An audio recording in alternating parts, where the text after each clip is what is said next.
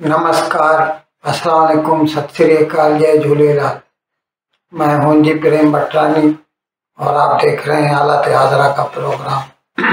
हकीकत ये है, इब्तदा में आपसे दरख्वास्त है, चैनल ज़रूर सब्सक्राइब करें।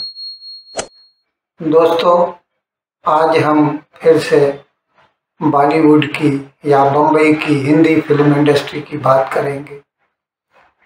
एक एक्टर प्रोड्यूसर है, जॉन अब्राहम। आपने ज़रूर सुना होगा। हंग के तौर पर मशहूर है। बहुत ज़बरदस्त बॉडी है। 2003 में मुतारफ हुआ था। उसकी पहली फ़िल्म जिसम थी, महेश भट्ट की। और पहली फ़िल्म ही ज़बरदस्त कामयाब हुई थी। और उसके बाद तो अभी तकरीबन 20 साल होने को आए हैं। अब तक बहुत अच्छा जा रहा है। खुद भी उसने कुछ फ़िल्में प्रोड्यूस की हैं, लेकिन ज़्यादा तौर पर एक्शन हीरो के तौर पर माना जाता है, क्योंकि उसकी बॉडी बहुत ज़बरदस्त है। और इसकी फ़िल्में आप रेस देखी होगी शूट आउट एट वडाला देखी होगी। या अभी ताज़ा ताज़ा शाहरुख खान के साथ आया था पठान में। और ये भी ज़बरदस्त कामयाब रही है। एक हज़ार करोड़ से ज़्यादा का बिज़नेस किया इसने। तो इस हम जान अब्राहम की बात कर रहे थे कि इसने बम्बई की एक सबर्ब है बांद्रा। ज़्यादातर एक्टर लोग जो है ना बांद्रा में रहते हैं। बहुत पोश लोकेलिटी मानी जाती है। वहाँ का एक रोड है जिसका नाम है लिंकिंग रोड वहाँ पर उसने एक बंगला खरीदा है।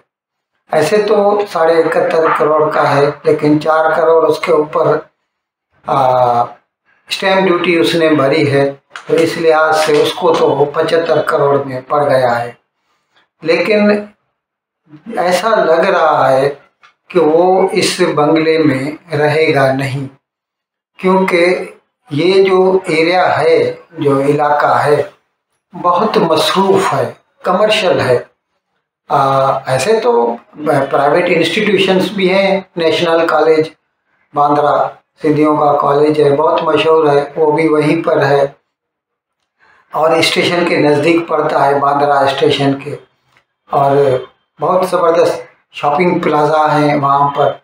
लेकिन रहने के लिए हमें नहीं लगता कि उसके लिए ये दुरुस्त होगा। उसकी जो, उसका जो ये बंगला है, ये ग्राउंड प्लस टू पे मुश्तमिल है। और इसका जो इसका नाम है अभी इस वक्त तो जो है 372 निर्मल भवन। और इसकी जो अराजी है प्लॉट है इसका वो सात हज़ार सात सौ बाईस करोड़ का प्लॉट है। तो लग ऐसे रहा है कि वो शायद इसको तोड़वा के यहाँ पर कोई माल या कुछ ऐसा कमर्शियल प्लाजा बना सकता है। और वैसे भी आजकल के जो अदाकार हैं, वो हमेशा रेनी सीज़न के लिए कुछ न कुछ बचा के रखते हैं। और वो ज़माना गुजर गया जब अदाकार जब अच्छा वक्त होता था तो ऐश करते थे और फिर बुरे वक्त में भूखे रहते थे। आजकल सब अदाकार वगैरह जो हैं बड़ी बड़ी इन्वेस्टमेंट्स करते हैं और हज़ारों करोड़ में खेलते हैं। इसी तरह अभी इसने जैसे ये पचहत्तर करोड़ का ये बंगला लिया है। तो अगर ये वहाँ पर एक कमर्शियल प्लाजा बनाए तो कहते हैं कि वहाँ पर आठ सौ रुपया पर स्क्वायर फीट का एक महीने का किराया है। इतना वो कमा सकता है, इससे वो। और लेकिन ज़रूरी नहीं है, हो सकता है वो उसको अपने रहने के लिए इस्तेमाल करे, क्योंकि बम्बई में ऐसी बिग टिकट जो है ना परचेज बहुत हो रही है आजकल। यानी पच्चीस तीस करोड़ की तो कोई बात ही नहीं है। लेकिन ज़्यादातर जो अदाकार या ये प्रोड्यूसर्स वगैरह हैं, ये बंगले नहीं खरीदते आजकल। अगर किसी के पास बंगला है भी तो उसको रीडेवलप करा के और उसके ऊपर बिल्डिंग बना के फिर फ्लैट में रहते हैं, क्योंकि फ्लैट को मेंटेन करना आसान होता है। और बम्बई में अभी फ्लैट का ही चलन है। बड़े बड़े अदाकार, जैसे ऋषि कपूर है सुनील दत्त जो था, संजय दत्त उसका बेटा, फिर उन्होंने भी जो उनके अपने बंगले थे ना, वो तोड़वा के वहाँ पर फिर बिल्डिंगें बनवा ली और अब वो फ्लैट में रह रहे हैं। तो हमें नहीं लगता कि जॉन अब्राहम इस बंगले को रहने के लिए इस्तेमाल करेगा। ज़्यादातर यही लगता है। अच्छा इस सिलसिले में हम आपको कई ऐसे बिग टिकट परचेजेस बता चुके हैं, जैसे रणवीर सिंह है उसने डेढ़ सौ करोड़ का एक फ्लैट खरीदा था। होल्ड ना, डेढ़ सौ करोड़ का एक फ्लैट था। फिर माधुरी दीक्षित ने पचास करोड़ का फ्लैट खरीदा और इस तरह चौंतीस करोड़ का सोनम कपूर ने खरीदा। ऐसे तीस पैंतीस करोड़ के फ्लैट तो जैसे एक आम सी बात हो गई है बम्बई में। तो हो सकता है कि जॉन अब्राहम भी इस बिल्डिंग को इस तरह डेवलप करे। कि उसको कमर्शियल प्लाजा कर दे और उसमें से बाकी सारी उम्र के लिए किराया कमाता रहे। इस तरह के और भी हमने आपको बताए थे बिग टिकट परचेजेज और बिग टिकट जो है कंस्ट्रक्शन सलमान खान ने जो है काटर रोड बांद्रा वही वो भी बांद्रा में ही रहता है आ, वहाँ पर एक बड़ा प्लॉट लिया और वहाँ पर एक फाइव स्टार होटल बना। ये भी हमने एक प्रोग्राम किया था, आपको बताया था।